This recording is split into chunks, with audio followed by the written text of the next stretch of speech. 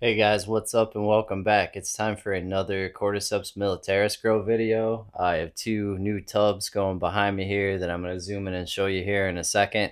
I'm growing a new strain. Uh, this is the MMX3 strain from Gary from Fresh from the Farm Fungi. It was a result of his uh, Cordyceps militaris breeding program he did. It was one of the best strains that came out of that.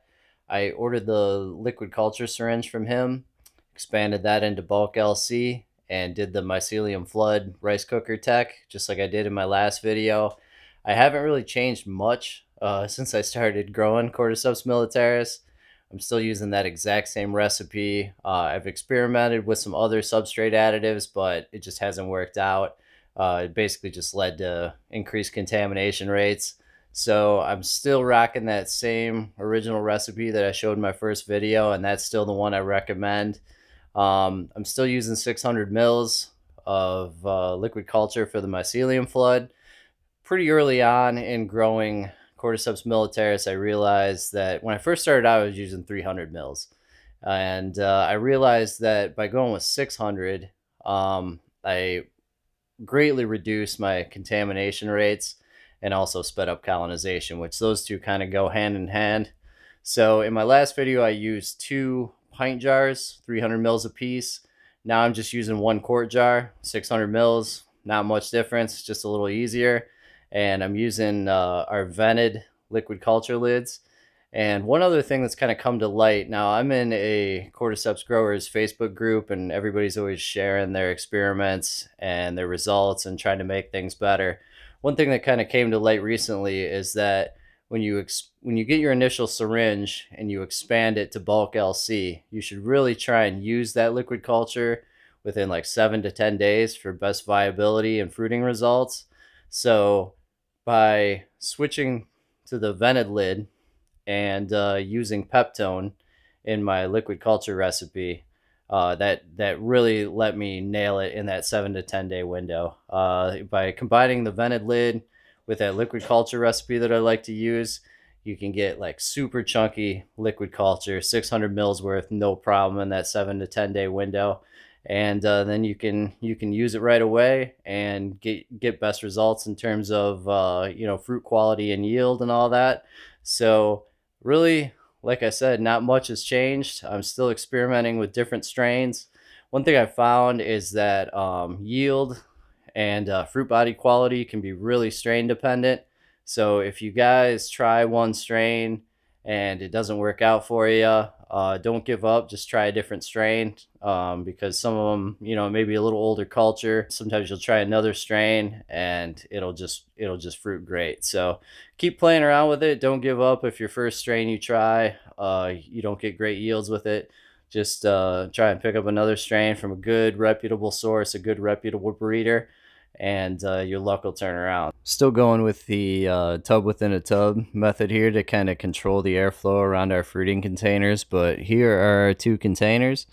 I'm still using the same Sterilite ID latch tubs. I'll zoom in on the dimensions there in case you guys want to match them up. So one rice cooker run will be enough rice to uh, basically fill two of these to about an inch depth of substrate which is usually what I go with, anyway, from like three quarters to an inch. And these are looking really good. Uh, I'm not sure if the camera's picking it up, but uh, they are starting to get a little peachy, orangish hue to them. This is uh, 10 days after inoculation, after I did the mycelium flood.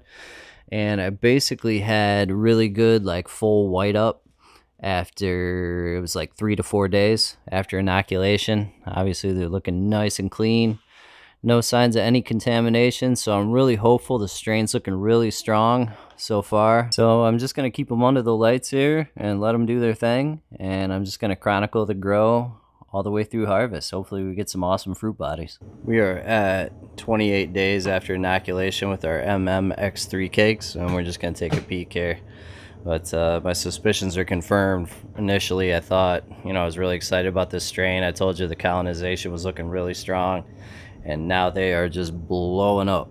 So zoom in here you can see all those little cordyceps pins completely covering the top of our cakes.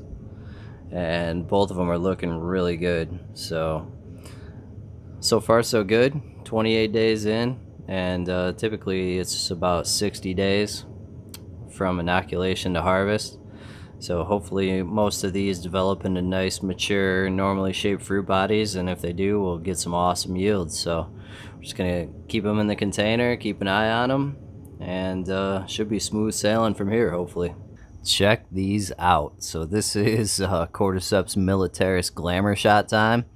I got them under the halogen lights and uh, I can pretty much watch my electric meter spin while I'm running these halogen lights, but it's totally worth it because look at these mushrooms. Beautiful, beautiful, beautiful Cordyceps militaris fruit bodies just covered in perithecia. Uh, what I have them sitting on is uh, basically I just gently coaxed them out of the tubs and the cakes are actually fairly flexible so you can just kind of get your hands under them, coax them away from the tub and I sit them right on these uh, these little plastic grids. And what these are is they're basically a eggshell crate ceiling tile for like drop ceilings and they're made to be like a vent or a diffuser for a drop ceiling. And you can buy them in like two by four sheets at any big box store and then just cut them up into smaller pieces. And they're really handy. I find lots of uses for them in the uh, the grow room and the mushroom lab here. I use them for shiitake too, but basically coax the cakes out, sit them on one of those, and then you can carry them anywhere. So I brought them over to the table here, and we're gonna pick them off, and we'll get a final yield. Let you guys know what that is. You guys pick these, basically just use my fingers and just tear them away. There's really no need for um, you know, any kind of cutting device. They uh, they do just peel away from the substrate fairly easily without much sub attached to the fruit bodies. You may get a little grain of rice here or there, but uh, they pick pretty clean, so it's just kind of a tedious process, you know. Now, some people do go for a second flush on these. Um, I've never tried it myself. I probably won't with these cakes. You can get a second flush, but it seems like they're pretty slow to produce and uh, I have so much going on down here in the basement right now that it's like I just don't have room. Definitely my best grow so far. I'm guessing it's going to be in terms of yield, but it definitely is in terms of fruit body quality. When it comes to growing Cordyceps militaris, it really all comes down to genetics. And uh, we're fortunate that in recent years we've had kind of a grassroots movement of uh, people breeding these strains. And uh, they are really good to eat too. Um, they taste taste pretty good. They're good in like soups. Uh, but uh, obviously they're loaded with uh, medicinal goodies too. Look at this right here. Look at this monster.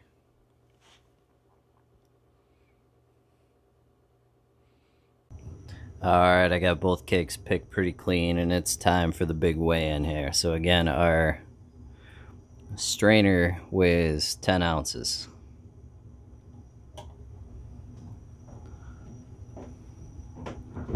we have two pounds of total weight. So that leaves us with one pound, six ounces of Cordyceps militaris off of two cakes. That is insane yields. That is by far my best grow. Super excited. Um, really cool. So I'm not sure I have the attention span to pick Cordyceps militaris, but I did my best. Uh, I kept him mostly intact, not much left on the cakes. I'm gonna get these guys into my Excalibur dehydrator, dry them nice and low and slow, and that's gonna be it for this video. Uh, let me know what you guys think, and uh, check out Gary at Fresh Fungi if you want to grow this awesome strain.